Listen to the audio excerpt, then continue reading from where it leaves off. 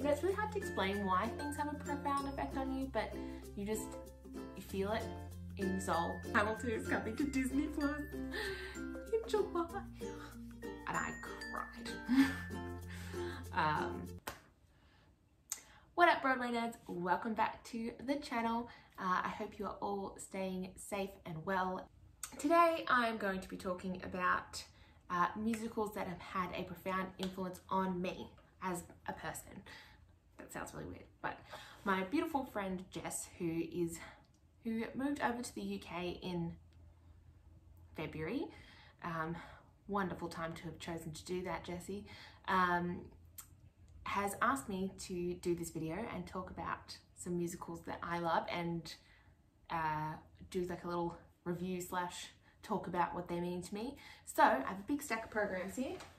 Let's start with, oh goodness, there's a lot here. Which one do I pick? Well, all right, well, let's just go with the top one. Beautiful. So Beautiful is the Carole King musical.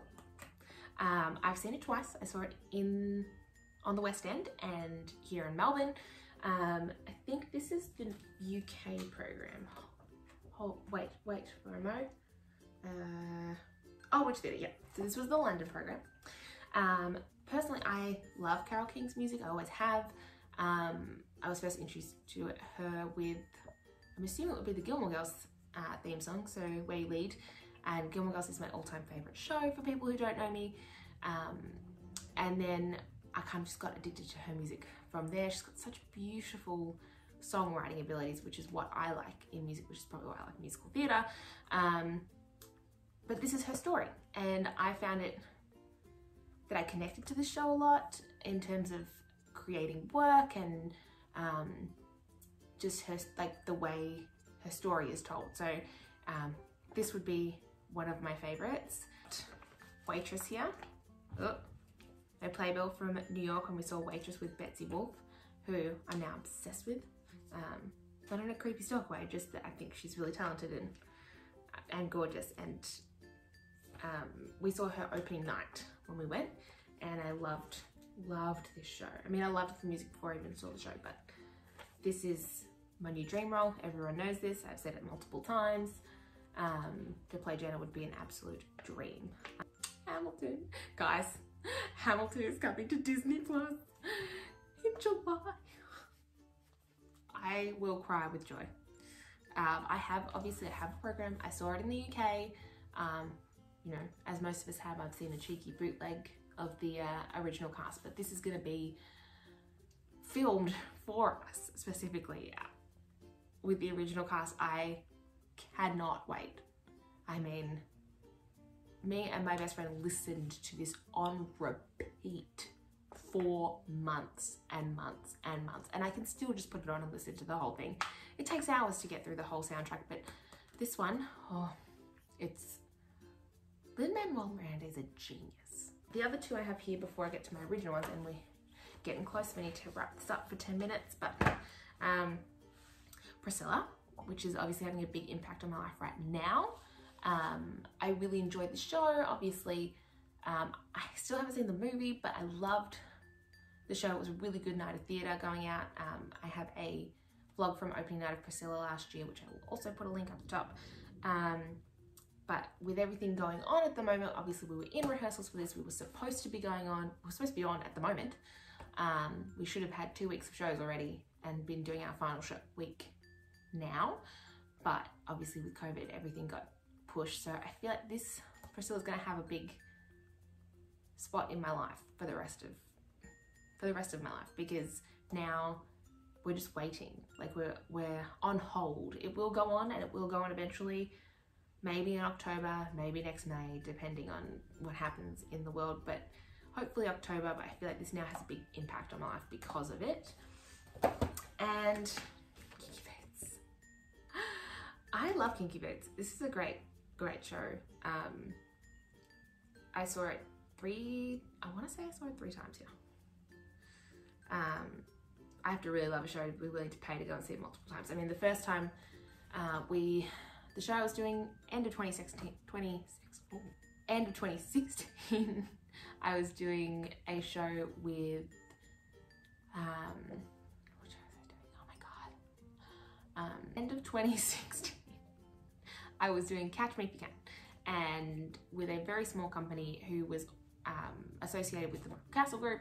Um, nothing to do with him. He did not produce it or anything, but his assistant you know, helped run this company that we're with. So he um, got us in and we performed at the inaugural AFL Pride Day game uh, with the cast Kinky Boots. And so then they invited us to come see the show in previews and again, it has a special place in my heart because we got to do special things for the show. So my two main ones, which would be Phantom and Wicked.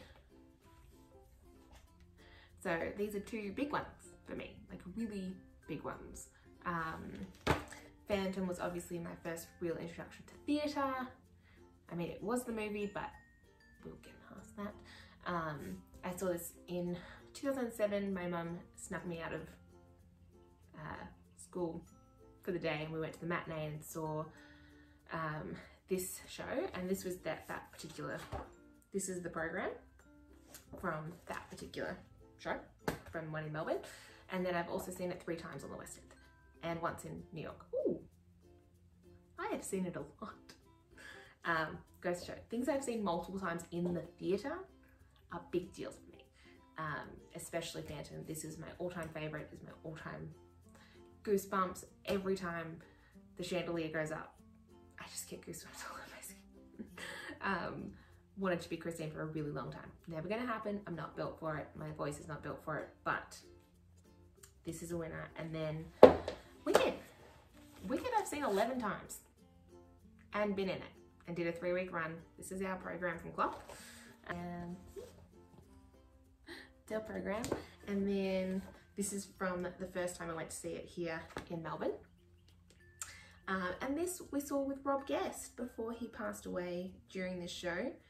Um, Wicked, again, one of my all-time favorites. I, when they announced that CLOC was doing it, I got so excited and I went to audition. I was like, I'll never get in. It's not gonna happen. And I did. And I cried. um, I did not know what to do with myself when they, the president called me and was like, I'd like you to come be part of the ensemble. Um, I was nannying at the time, I'm looking after this kid, and I'm like, I don't know what to do. What do I do with myself? I literally said to him, I'm like, are you kidding? And he was like, no, this is not a joke. And I was like, I think he thought I was like, um, ensemble, no. Um, but no, I was like, are you kidding? I was like, yes, yes, I'll come, absolutely. Um, I said the same thing when they called to ask me to be Priscilla. Yes, yes, I'm coming. Because um, these guys, their shows are just so great to do. Um, and I will always, always be grateful to the production team that let me into to do Wicked because it was my favourite show I've ever done in my life. There are some other shows that, you know, I've loved every show that I've done, but this, this was a big one. Um, and seeing it, you know, we used to go and do the lottery in my first year out of high school, so that was 09 we go and we do the lottery like at like at least once a week. Entertainment, we love doing that. I wish there was more lotteries. There is a Wicked lottery, not Wicked, a Harry Potter lottery, but it's not the same thing. So anyway, those those. Um, you know, it's really hard to explain why things have a profound effect on you, but you just you feel it in your soul like you do with any show. You have those moments where you just are so sucked into it that you can't do anything else but fall in love and want to see it over and over and over again. So those are the ones that I think have had the most effect on me. Anyway, thanks for watching guys. Those were my shows that I love. Leave a comment below of the shows that have had a profound effect on you. Um, if you would like, share this around with your friends. Subscribe to the channel for more content down there. Hit the bell icon so that you get notifications when I post new videos. And that's it. I will see you next week um, on the channel and on the vlog later this week. So see you, bye.